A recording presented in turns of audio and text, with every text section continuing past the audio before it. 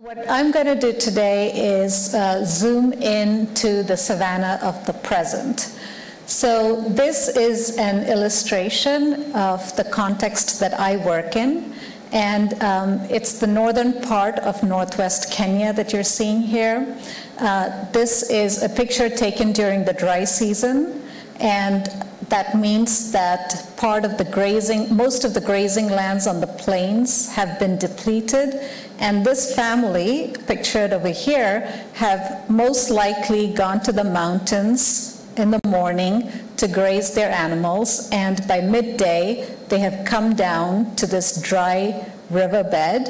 They've dug a well here in this riverbed, and they're watering their animals right now.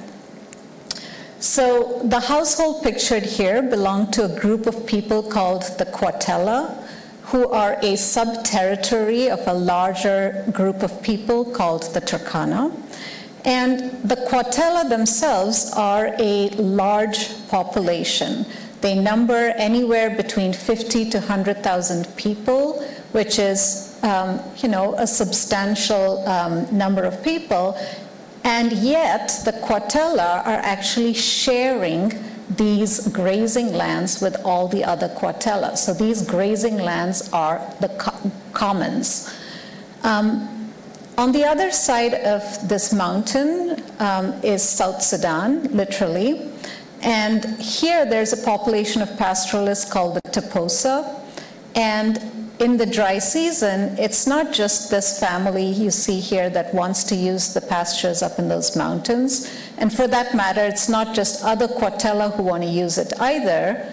The Toposa on the other side of the mountain want to use these pastures. And so do Turkana individuals who come from 100 kilometers south of here, who belong to yet another sub-territory of the Turkana.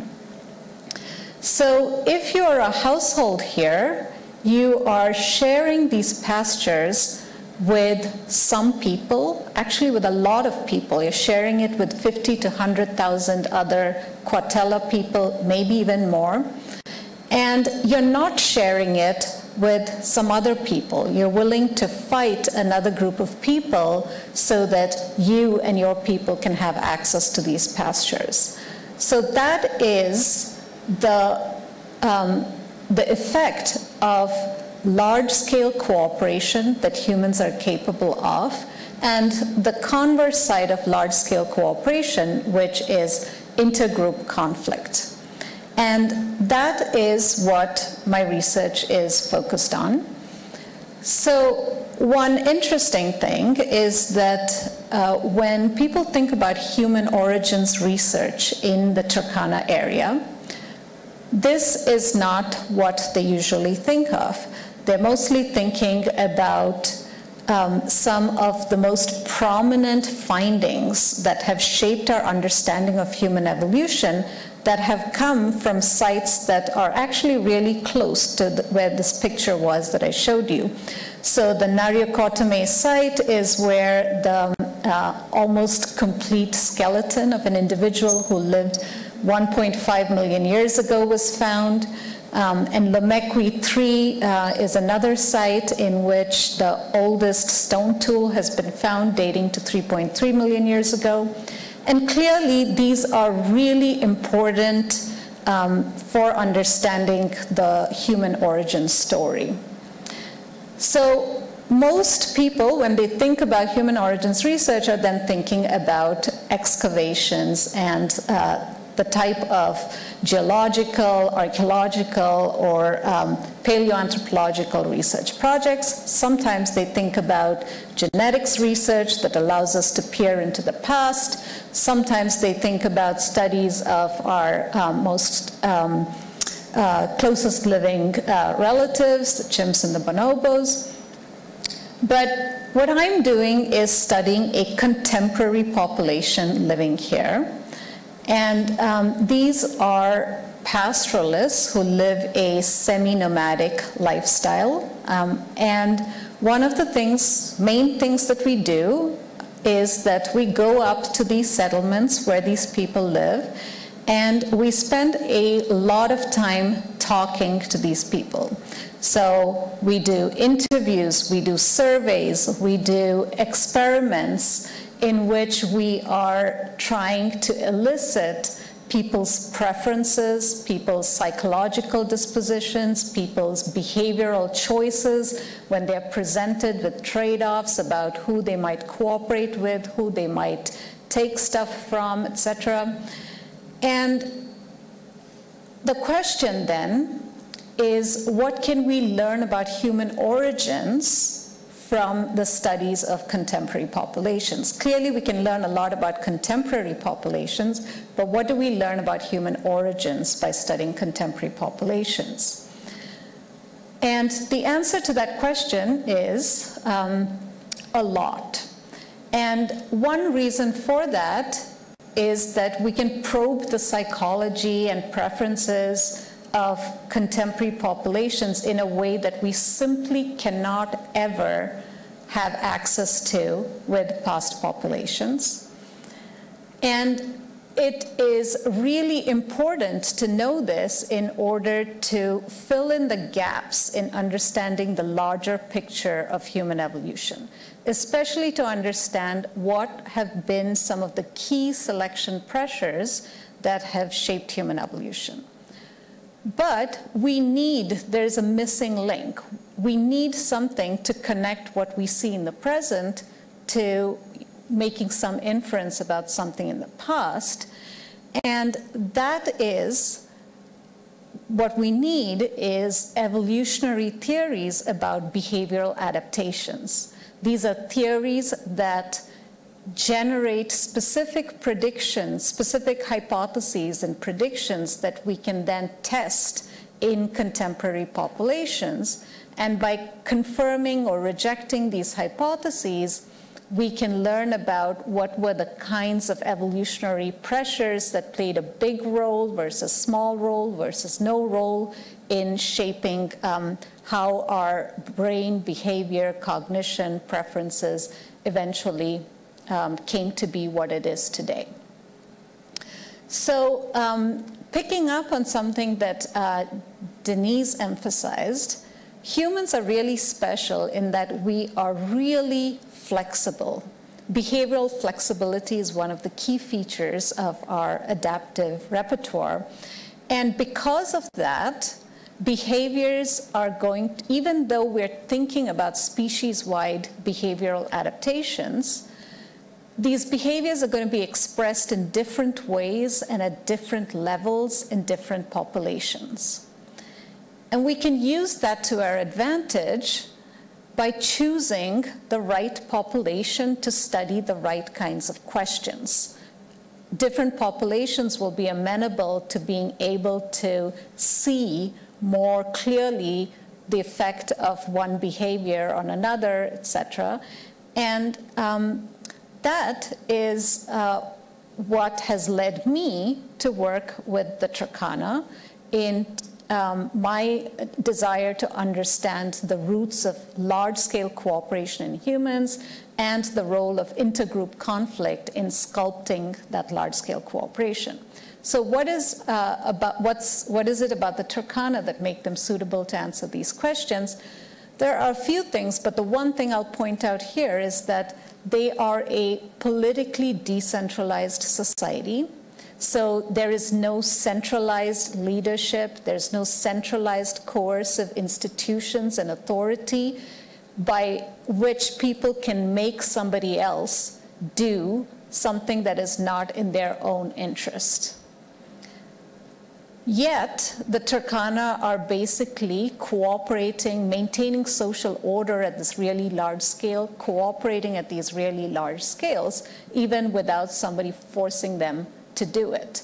And so that is a great context for us to be able to understand what are the individual dispositions that humans possess that allow these kind of bottom-up processes to shape um, human, um, human evolution, human social evolution, human cultural evolution.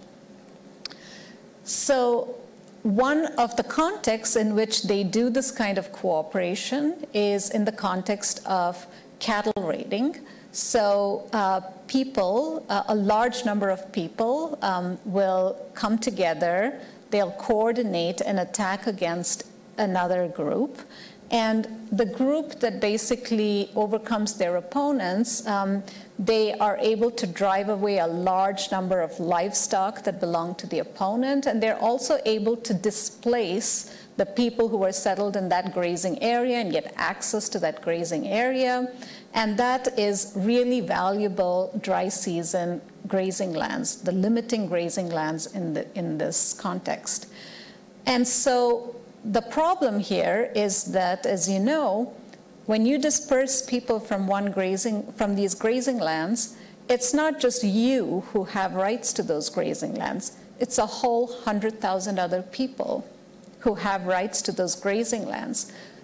Yet, uh, yet when you go out on these raids, you suffer a 1% chance of being killed on the raid, a rate of mortality that ends up leading to 50% of adult male mortality in the, uh, um, in the context of rating.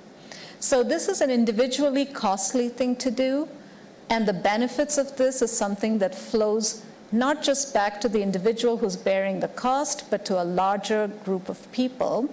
And this raises the question, how do humans do it? Well, they must have some behavioral adaptations that allow people who cooperate in this way to somehow do better than those who are not cooperating. So what are these behavioral adaptations? Well, there are several hypotheses. And one of them is um, that humans have evolved this capacity for large-scale cooperation through third-party punishment of non-cooperators, which means that if somebody doesn't do what they are supposed to do and contribute, the rest of us are willing to impose a cost on that individual by sanctioning that individual, by disapproving of them, by refusing to help them. And these social costs become big enough that it actually is in the best interest of that individual to just go ahead and cooperate. So that is a hypothesis for why and how humans are able to sustain cooperation. And um, so when we go out to study these populations, these contemporary populations, we can ask this question. So do third parties punish? And when they punish, are they punishing free riders? individuals who are not contributing because they don't want to put in the cost, the risk associated with this activity.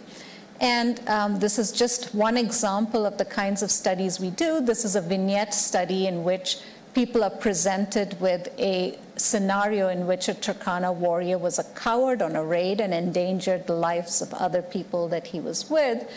And in contrast with another scenario in which they're hearing about a warrior who actually made an effort, but he was not very competent, he didn't have the skills, and so he didn't end up actually contributing much, uh, but it's not free riding. Same impact, but different causes and pathways for, uh, for why. And we see that people do have a lot more negative sentiments towards this individual who's a free rider, is not cooperating. And um, that shows up in a variety of contexts. We judge these people. We judge what they, uh, what they do to be wrong. We're willing to criticize them. We're willing to talk about them to others. We might engage in direct punishment of them.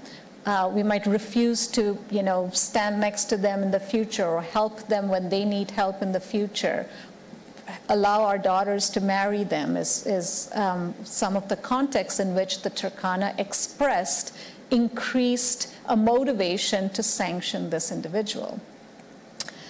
And uh, the norms themselves are not just a superfluous um, so the Turkana have a norm that says you shouldn't be a coward on a raid. You should go on raids, and when you go there, you need to fight, and you need to fight in a way that that is, you know, in the interest of this larger group. Um, and these norms have a really profound effect on um, how people are living and dying. So in the Turkana context, um, as I said earlier, 50% of adult male mortality is coming from raiding. So individuals are taking on a cost, and part of the, at least part of the reason they're taking on this cost is because if they are seen as cowards, um, they are going to face a whole range of social sanctions that sometimes just make it worthwhile to then, you know, do the thing that's expected of you in that society. Another example of a kind of hypothesis we can test in contemporary populations. So now that we have some sense that people comply with social norms because there'll be sanctions towards individuals who don't, we have a situation in which different groups can have different norms. Because in each group, they might be enforcing a different norm we are not enforcing the same norms here as the Turkana are enforcing in the Kwatela land, clearly. And that is essentially one of the biggest um, kind of outcomes of norm-based life is that different populations can have different normative systems leading to different behaviors. And this means that groups can have differential success in intergroup competition. So uh, norms then, because of this process of generating between group variation, can create really novel competitive regimes that operate in human evolution. So imagine we have groups that have different norms. And so here I have the red norm as a norm that is a non-cooperative or a less cooperative norm. It's a norm that says, just help the people I know. Anybody else, you know, I'm not obliged to help. And blue, the blue norm is a more cooperative norm. It says help people anyone who adheres to the same norm that I adhere to. So don't restrict my helping to just the people I know. So the blue norm can allow cooperation to happen at a much larger scale. And there are lots of benefits to these kinds of large scale cooperation. You can produce public goods on much larger scales. You can mobilize much bigger armies, more effective armies. Um, and as a result, we might see that groups that have these more cooperative norms have differential success. They will take over um, groups that, that have less cooperative norms. And this process also does something else. As you notice, this blue norm is one that says, cooperate with anyone who shares my norm. And that means that now you have cooperation at a much bigger scale. You have cooperation across certain social boundaries across, or across bigger spatial scales. So you have larger scale cooperation emerging, and you have cultural differentiation happening across these larger scales. So now the groups that are different is basically this big blue group and, and so the cultural boundary has shifted um, to a different social scale. What this, what this process generates then, and how we can test this, whether this is happening, is to look at today's populations and see whether you see this, this outcome. And this, by this outcome, I mean that the scale at which people cooperate is going to be the scale at which you see cultural differentiation.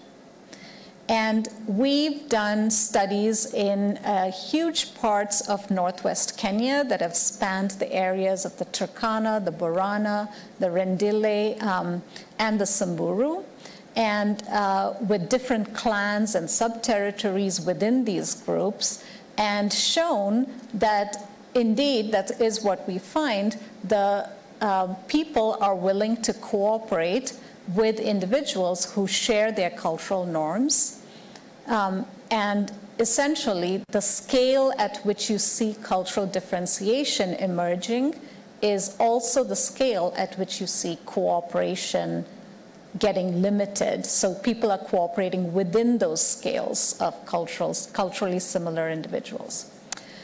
Uh, another hypothesis um, that we could have is if norms have played such a big role in human evolution, and that means they've imposed such huge costs on humans who have violated norms, then we should also have evolved behavioral mechanisms that allow us to uh, limit the social damage we experience if we do commit a norm violation. So protective measures of repair, social repair.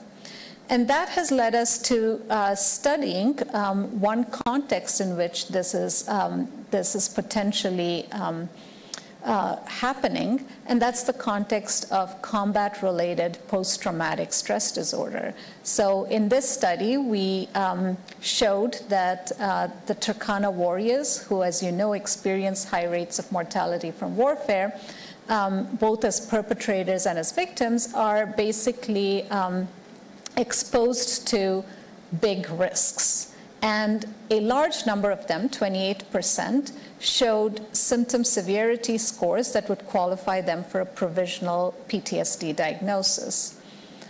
And um, what we are hypothesizing is that if the, that the evolved psychology of combat-related fear response should be prepared to mitigate not just the physical risks of combat, but also a whole bunch of moral risks that come from potentially violating social norms in this really high stakes context in which uh, people are getting killed.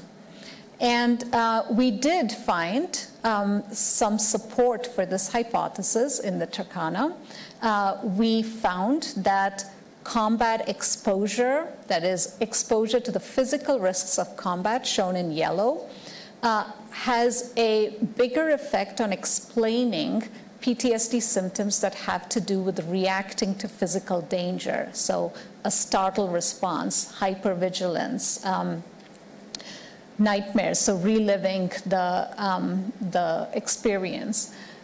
Uh, and exposure to moral violations, either as perpetrators or victims, that's the predictors shown in blue, have a relatively larger effect on explaining the depressive symptoms associated with PTSD, which some people have posited are symptoms that have to do with um, mitigating social damage and so and kind of trying to engage in social repair mechanisms changing course from what you're doing because you perceive that this is a um, not not the right thing to do um, etc and that helps us understand also what is happening in um, not just in one cultural context, but across different cultural contexts, because we know that the normative landscape of human warfare then would be very different if norms are what's making people, you know, take risks, go and, you know, wage war with one group of people, not another group of people.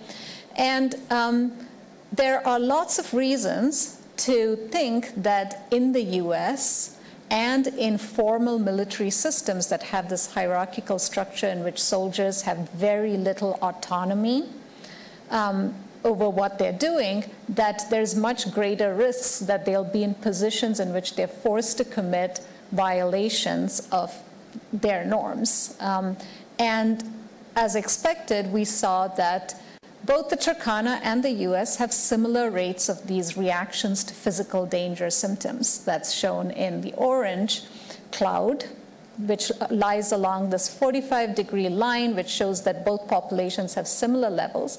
But the US has relatively higher rates of the depressive symptoms of PTSD. Um, and this could, again, be because of the different normative landscape in which the wars are being fought in these uh, two populations. So now, um, going back to a question, um, how uh, question about the savanna. So how did the Turkana then adapt to the semi-arid savanna? And what does anything that I have said so far have to do with this question? Um, so the one thing um, to say up front is that I don't think we have a very good answer to this question. We don't know what exactly it is about the Turkana cultural complex and the Turkana normative systems that allowed them to thrive in a semi-arid savanna habitat.